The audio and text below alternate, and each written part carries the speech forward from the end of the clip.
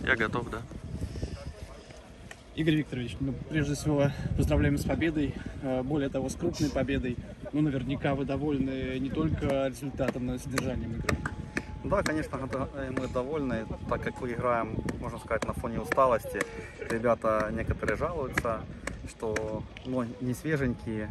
Ну, как видите, результат как бы добились, но есть моменты, где над чем будем работать. Но, тем не менее, это волевая победа, смогли отыграться после 0-1.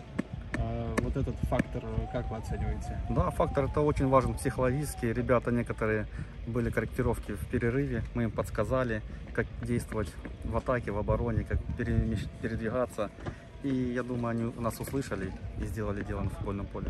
Четыре мяча, насколько это, может быть, даже в какой-то степени для вас неожиданность? Э, Мы долго этого ждали, чтобы как бы побольше голов забивали, потому что, вы знаете, как в чемпионате у нас немножко не ладилось, но мы к этому идем, мы это развиваем, мы это, как бы сказать, всегда ребят настраиваем психологически, что он важен, э, гол это важен в футболе.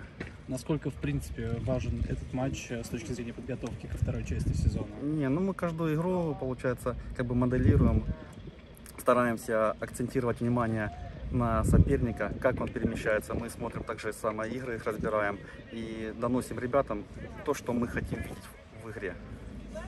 Спасибо большое. Пожалуйста.